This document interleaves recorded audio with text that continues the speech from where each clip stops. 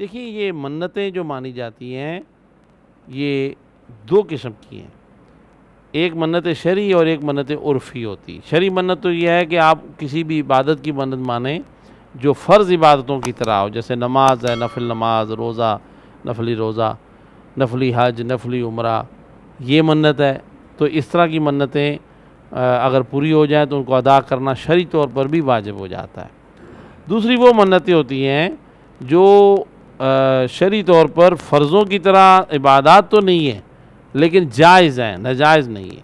जैसे किसी बुज़ुर्ग के मज़ार की हाज़िरी की मन्नत है, वहाँ उनके साल सवाब की मन्नत मान लेना है, दिगर और नेक कामों की, कोई खैरात लंगर की मन्नत है, ये भी जायज़ हैं और इन्हें पूरा होने के बाद भी अदा करना चाहिए, उसकी भी बरक़ात है। जैसा कि ये पूछा गया, वो ख्वाजा साहब के नाम की देख की मन्नत मानते हैं अब मैंने देखा हुआ नहीं है, लोग कहते हैं कि वो देख घूम जाती है, जिसकी मन्नत पूरी होनी होती है। तो फिर उसकी मन्नत पूरी हो जाती है और फिर वो वो भी वही देख पका के तो लोगों में तकसीम करता है। इसमें कोई ऐसी गैर शरी बात नहीं है। और घूम जाना उसका, कैसे हो सकता है? कोई इस तरह पूछ रहा है तो भाई ये करके देख लो, मेरे को तो पता नहीं। मैंने नहीं देखा अपनी आँख से, सुना बहुत है। और नामुमकिन नहीं है, मुमकिन है। ये इस्तारों में, मुख्तलिफ़ तरीक़ों में जो इशारात मिलते हैं। तो ये भी कोई इशारा बुज़ुर्गों की तरफ़ से ऐसा हो सकता है, उनकी करामत हो। नामुमकिन नहीं है, मुमकिन है ये, और ये जायज़ है, कोई इसमें नाजायज़ बात नहीं पाई जा रही। जहाँ तक किसी को ये जो सजू है कि वो कैसे घूम जाती है और क्या तो भाई थोड़ा सा ख़र्चा करो। देख, पका के देख लो। तो फिर आपको यकीन हो जाएगा लेकिन मैं तो अलहमदिल्ला मानता हूँ और आपको भी मानना चाहिए कि ऐसा मुमकिन है। बुज़ुर्गों की करामात हैं और करामात होती वही चीज़ें हैं जो इंसानी अकल से मावरा हो।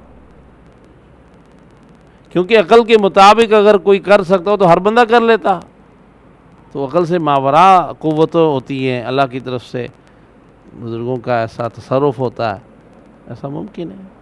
आप तो देख पे कह रहे हैं, सरकार गौसपाक रज़ी अल्लाह तु तो फरमाते हैं मेरा कोई मुरीद अगर सोया हुआ हो और मेरा मुरीद सच्चा हो तो उसका सितर नंगा हो जाए। सोते में कपड़ा उसका हट जाए, कोई जिस्म नंगा हो जाए, जो जिस्म छुपाना फ़र्ज़ है तो मैं तो उसके उस सितर को छुपा देता हूँ। मेरे किसी मुरीद पर शेर हमला आवर हो और वो मुझे याद करे तो मैं उसके और शेर के दरमियान हाइल हो जाता हूँ। अलिया अल्लाह के तसरफ़ात बहुत बड़ी बातें हैं। अब ये तो जाए लोग हैं जो कहते हैं, ये कैसे मुमकिन है? ऐसा कैसा हो सकता है? फ़लाँ मौके पे तो ये हो गया था, ऐसा क्यों हो गया था? अस्तफ़रल्ला उनको शायद याद नहीं कि कुरान पाक में अल्लाह ताला ने असहाब काफ के वाक़ात बयान किए हैं। और वो सोए हुए थे, जाग नहीं रहे थे वो। और नींद मौत ही है। उस हालत में उनकी करामा ज़ाहिर हुई। फरिश्तों ने करवटें बदली, सूरज का निज़ाम बदल गया। अल्लाह अपने प्यारों के लिए क्या कुछ कर देता है? वो उसके प्यारे तब भी होते हैं जब दुनिया में हयात हों, उस वक्त भी होते हैं जब वो कब्रों में पहुँच जाते हैं, उनके प्यार में फ़र्क नहीं आता।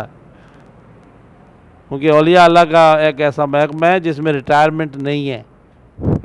वो सदा ड्यूटी पे है। अल्लाह ताला समझने की